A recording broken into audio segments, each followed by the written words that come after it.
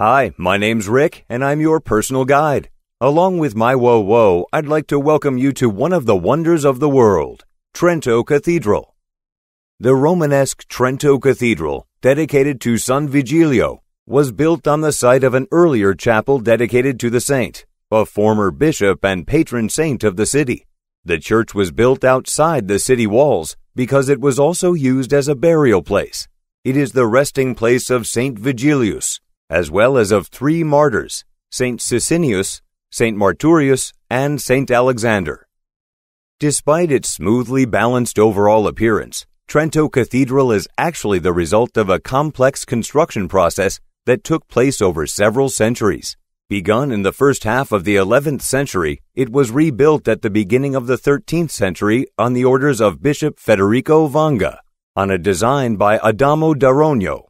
After d'Arogno's death, the work was continued by other master builders, without making any changes to the original project guidelines.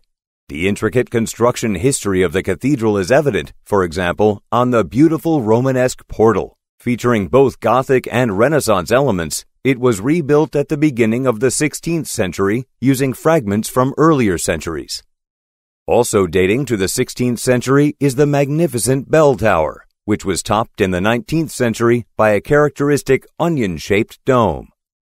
I suggest you stand back and admire the building from the center of the square so you can appreciate one of the main features of this splendid architectural complex the beauty of the austere yet elegant Romanesque Gothic lines. If you observe the side of the cathedral, you'll notice the extraordinary care taken with the proportions and the fine workmanship of the stone.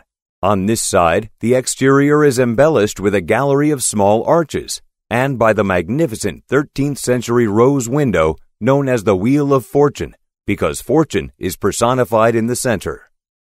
In a niche to the left of the entrance portal, known as Porta del Vescovo, you can see the Madonna degli Annegati, or Our Lady of the Drowned. A copy of the original currently is conserved inside the cathedral, and is so called because of the ancient custom of placing bodies recovered from the river at her feet.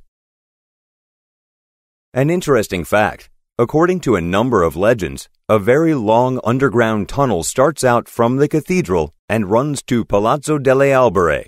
It is said to have been made for Cardinal Madruzzo, Prince Bishop of Trento, so that he could escape in the event of danger.